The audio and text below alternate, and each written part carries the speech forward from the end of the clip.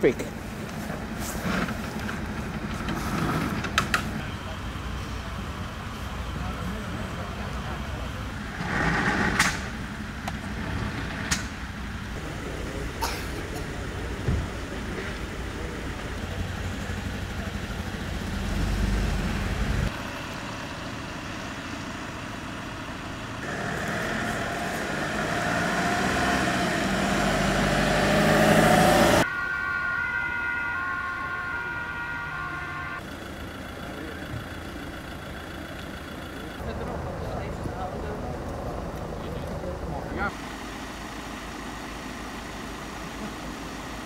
het uh, aanpassen.